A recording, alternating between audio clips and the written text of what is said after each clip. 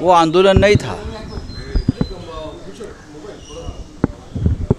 पवार साहब के घर पर जो लोग गए थे, वो खुद को अपने आप को अगर एसटी कर्मचारी मानते हैं तो मैं मानता हूँ ये आंदोलन नहीं था। ये कोई साजिश थी। और उस साजिश के पीछे सूत्रधार कौन है? राजनीति। उसका रहस्य भी जल्दी सामने आ जाएगा। एक तो पवार साहब का ये एसटी का जो स्ट्राइक है उससे कोई संबंध नहीं है। सरकार ने नेताओं से बातचीत कर ली और सर्व न्यायालय ने भी उस बारे में एक दिशा दी। सभी मांगे लगभग उनके सरकार मान चुकी है।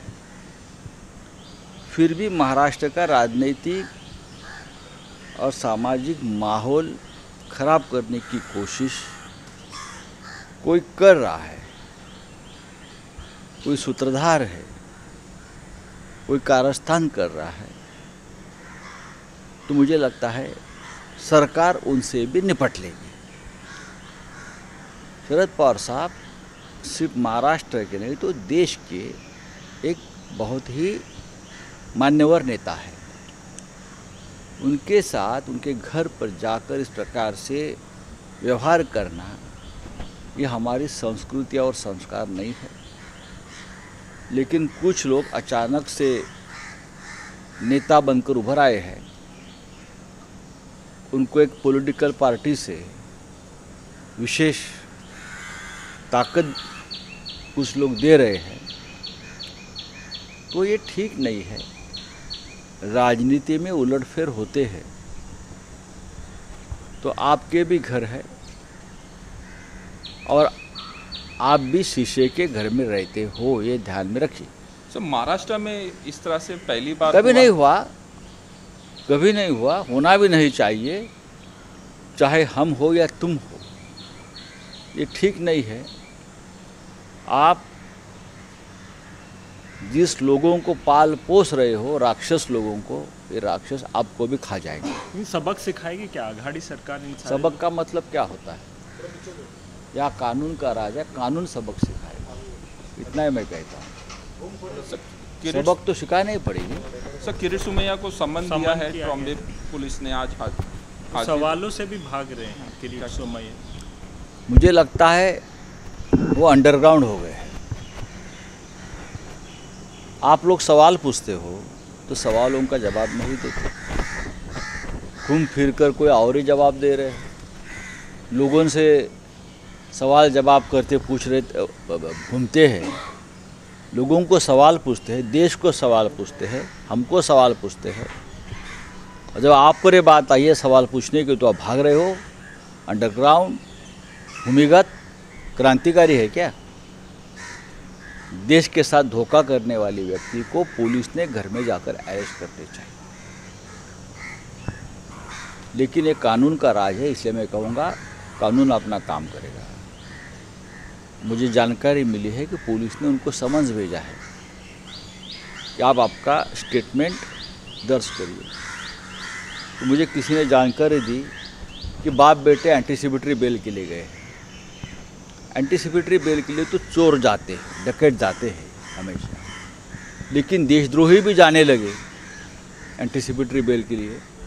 तो ये आश्चर्य की बात है। ठीक है, आप जाइए, लेकिन जनता आपको माफ़ नहीं करेगी। सर इस अंतिम सवाल है। फ़ोन टैपिंग मामले को लेकर के समन किया गया है। अभी तक आप अपना स्टेटमेंट रिकॉर्डिंग आप मैं आप मैं मेरा स्टेटमेंट आज दे रहा हूँ। किसी पे शक है? देखिए रश्मि देखिए रश्मि शुक्ला- शुक्ला का तो नाम आया लेकिन रश्मि शुक्ला के पीछे और भी कोई साजिश है? कोई पॉलिटिकल बॉसेस उनके हो सकते हैं उस वक्त के उनके इशारे पर ही ये फ़ोन टैपिंग हुआ है।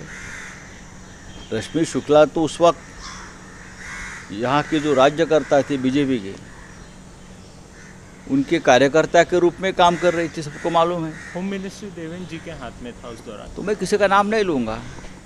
वो आप जाँच में सब सामने आ जाएगा। तो ठीक आहे देख लेंगे। मराठीमध्ये सांगा किरीट सुमय्याला संबंध का? बघा पोलिसांनी काय समन्स पाठवलं आहे याच्याविषयी माझ्याकडे माहिती नाही. भारतीय जनता पक्षाच्या काही लोकांप्रमाणे आम्ही तपास यंत्रणांमध्ये हस्तक्षेप करत नाही. पण मला आता आपल्या माध्यमातून माहिती मिळाली की त्यांना पोलीस स्टेशननं जबाब नोंदवण्यासाठी समन्स पाठवला. आहे त्यानंतर मला अशी माहिती मिळाली की देशाला फसवणारे आय एन एस विक्रांतच्या नावावर लोकांकडून कोट्यावधी रुपये गोळा करणारे हे दोन बाप बेटे डरपोक हां पोलिसांसमोर जायला घाबरत आहेत म्हणून ते अटकपूर्व जामिनासाठी कोर्टात गेलेले आहेत. अटकपूर्व जामिनासाठी. अरे कर नाही त्याला डर कशाला? ही तुमचीच भाषा आहे ना. आपने तुम्ही पैसे गोळा केलेले आहात आय एन एस विक्रांतच्या नावावर. लोकांच्या भावनेशी देशाच्या भावनेशी खेळलेला आहात. आणि मी परत सांगतो अठ्ठावन्न कोटी रुपये गोळा केले. तो पुन्हा पुन्हा विचारतोय ना अठ्ठावन्न कोटीचा आकडा कुठून आणला? ते पोलीस तुम्हाला विचारतील ना. तुम्ही पोलिसांना सांगा. हा पोलीस तपासाचा भाग आहे. अठ्ठावन्न कोटी रुपये कुठून आणले? तुम्ही पैसे गोळा केले. हा महत्त्वाचा मुद्दा आहे. धर्मादाय आयुक्त चॅरिटी कमिशनर. बरं का? ह्यानेसुद्धा ह्यांच्यावर कारवाई केली पाहिजे. चॅरिटी कमिशनरच्या परवानगीशिवाय अशा प्रकारचे पैसे गोळा करून हडप करता येत नाहीत. जर तुम्ही देवळात जर पेटी ठेवलेली असते देवळात लोक पैसे टाकतात त्या पेटीमध्ये चाराणे दहा पैसे भक्त त्याचासुद्धा हिशोब चॅरिटी कमिशनरला द्यावा लागतो. घरावर जे हल्ले झाले. एक विषय वेगळा चालू आहे. ना तुम्हाला हवा तर तुम्ही कशा करता मी माझा विषय संपला आहे का? माझा विषय संपलेला नाही. तुमचा अजेंडा नाही चालवायचा इथे. प्लीज त्याच्यामुळे देवाच्या पेटीत टाकलेल्या पैशाचा सुद्धा हिशोब द्यावा लागतो. देश देव आणि धर्म एकच आहे. हे देशासाठी गोळा केलेले पैसे होते. त्याच्यामुळे तुम्हाला त्याचा हिशोब द्यावा लागेल. तुम्ही ते पैसे गोळा करून जे पचवले आहेत आणि ढेकर दिलेले आहे. तुमचं आता ऑपरेशन करावं लागेल. काय नक्की आजार आहे तो? हा बोलिये सर पवार साहेबांच्या घरावर जे हल्लं झालं प्रोटेस्ट झालं त्यांचं आंदोलन झालं एस टी कर्म अदृश्य ताकद मी त्याला आंदोलन म्हणतच नाही. हे कारस्थान होतं. ह्याच्यामागे काही राजकीय पुढाऱ्यांचा हात असू शकतो. ज्यांना महाराष्ट्रामधलं वातावरण बिघडवायचं आहे.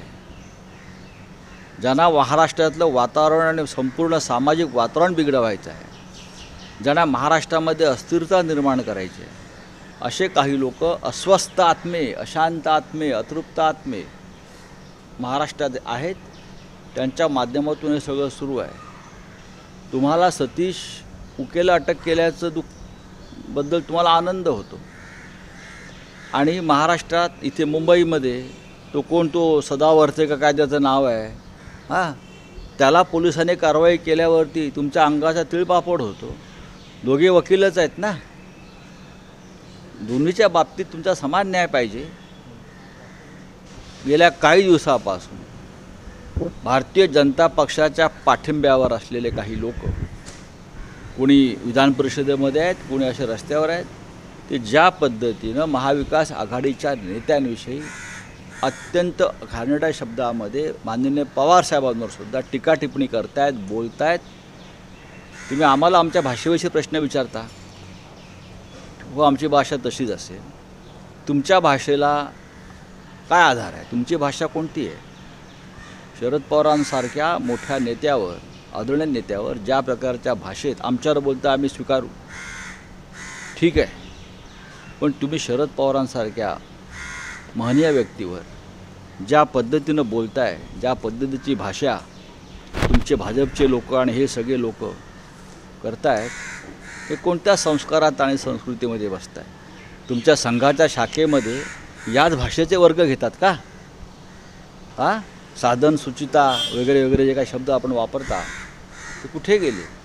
महाराष्ट्राला महाराष्ट्राला ही घाण साफ करावी लागेल आणि ती वेळ आता आहे. राजकारणाचं स्तर खाली गेलं. राजकारणात तर सगळ्यात खाली गेलेलं नाही विरोधी पक्षातल्या काही लोकांचा स्तर खाली गेला.